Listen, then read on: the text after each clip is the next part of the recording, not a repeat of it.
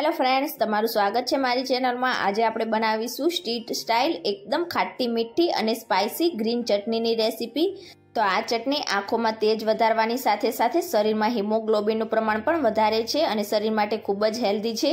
અને તમે બજાર જેવી ચટણી ઘરે એકદમ આસાનીથી બનાવીને તૈયાર કરી શકો છો. આ ચટણીને તમે સેન્ડવિચ, ભેળ કે કોઈ પણ ચાટ બનાવવામાં તેનો ઉપયોગ કરી શકો છો. તો ચાલો બનાવીએ રેસીપી. સારી લાગે તો વિડીયોને લાઇક કરજો, વધારેમાં વધારે શેર કરજો અને હજી સુધી ચેનલને સબસ્ક્રાઇબ ના કરી હોય તો સબસ્ક્રાઇબ કરીને બે લાઇકનને પ્રેસ કરજો એટલે નવી નવી રેસીપીના નોટિફિકેશન આવશે. તો ચાલો બનાવીએ. સૌથી પહેલાં તો બજાર જેવી જ ચટણી બનાવવા માટે મેં અહીંયા એક બંચ જેટલી કોથમીરને એકદમ સરસ રીતે ધોઈને સાફ કરીને કોરી કરી લીધી છે. તો અહીંયા સૌથી પહેલાં તો તમારે ખાસ ચટણી બનાવવા માટે ફક્ત પાંદડાનો ઉપયોગ નથી કરવાનો. આ રીતે જે કુમળી ડાળી હોય તેનો પણ ચટણી બનાવવામાં ઉપયોગ કરવાનો છે. તો જ તમારી ચટણી સારી બનશે. જો તમે ફક્ત પાંદડાનો ઉપયોગ કરશો તો તમારી ચટણી બ્લેક થઈ જશે અને ચટણીનો ટેસ્ટ પણ વધારે સારો નહીં આવે. તો અહીંયા મેં જે આ રીતની કુમળી ડાળી હોય તે રાખી લીધી છે અને બાકીની જે કઠણ ડાળી હોય તેને કટ કરી લીધી છે. તો આ ચટણી બનાવવા માટે તમારે ધાણા એકદમ સરસ ફ્રેશ હોય તેવા લેવાના, એટલે ચટણી એકદમ સરસ બનશે. હવે સૌથી પહેલાં તો આપણે આ રીતે ધાણાને રફલી કટ કરીશું. એટલે આપણા ધાણા એકદમ આસાનીથી પીસાઈ જશે. અને હવે સૌથી પહેલાં તો ચટણી બનાવવા માટે મિક્સર જાર લઈશું અને તેમાં બે ટેબલ સ્પૂન જેટલા દાળિયા ઉમેરીશું. તો આ રીતે બે ટેબલ સ્પૂન જેટલા દાળિયા ઉમેરવાથી આપણી ચટણી થીક બનશે અને બીજી કઈ વસ્તુ ઉમેરવાથી તમે ચટણીને થીક બનાવી શકો છો તે હું વિડીયોના એન્ડમાં જણાવી દઈશ. તો વિડીયોને એન્ડ સુધી જરૂરથી જોજો. અને હવે તેમાં બે ટેબલ સ્પૂન જેટલી ઝીણી નાયલોન સેવ ઉમેરીશું તો નાયલોન સેવથી પણ આપણી ચટણી સરસ થીક બનશે અને તેનાથી આપણી ચટણીનો ટેસ્ટ પણ સરસ આવશે. હવે તેમાં બે તીખા હોય તેવા લીલા મરચાંને આ રીતે કટ કરીને ઉમેરીશું. મરચાં તમારા ઘરમાં જે રીતે ખવાતા હોય તે રીતે તમે વધારે કે ઓછા ઉમેરી શકો છો. એક ઇંચ આદુનો ટુકડો ઉમેરીશું અને હવે આપણે ચટણીને ટેસ્ટી બનાવવા માટે તેમાં એક સિક્રેટ વસ્તુ ઉમેરીશું. તો અહીંયા મેં ચારથી પાંચ જેટલી લસણની કળી લઈ લીધી છે. તો ઘણા લોકો ચટણીમાં લસણ નથી ઉમેરતા, પણ મુંબઈમાં જે ગ્રીન ચટણી બનાવવામાં આવે છે તેમાં લસણનો ઉપયોગ કરવામાં આવે છે. તો આ રીતે ચારથી પાંચ જેટલી લસણની કળી ઉમેરવાથી આપણી ચટણી એકદમ સરસ ટેસ્ટી બનશે. તો એકવાર તમે જરૂરથી ટ્રાય કરજો. અને હવે આપણી ચટણીને થોડી ખાટી બનાવવા માટે તેમાં અડધા લીંબુનો રસ ઉમેરીશું. એક ચોથાઈ ટીસ્પૂન જેટલું મીઠું ઉમેરીશું.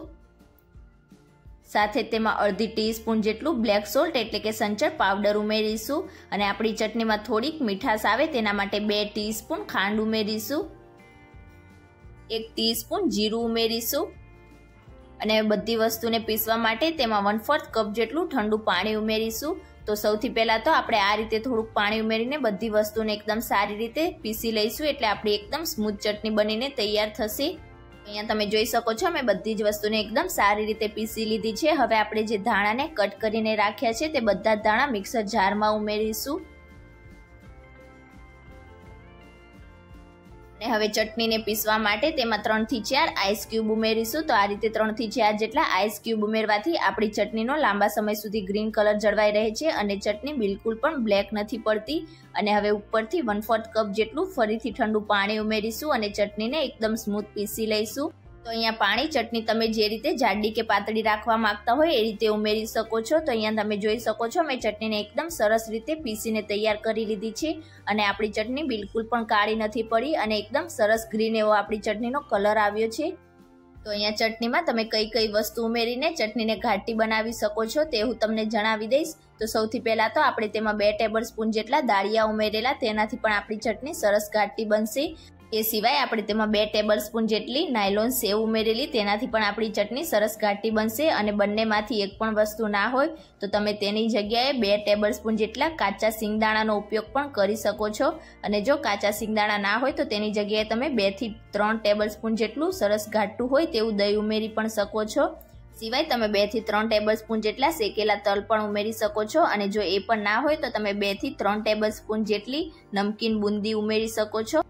અને જો એ પણ ના હોય તો તમે થોડાક તાજા નારિયેળને, ખમણીને તેનો ઉપયોગ પણ કરી શકો છો. તો આ બધી વસ્તુમાંથી તમે કોઈ પણ વસ્તુનો ઉપયોગ કરીને ચટણીને ઘાટી બનાવી શકો છો.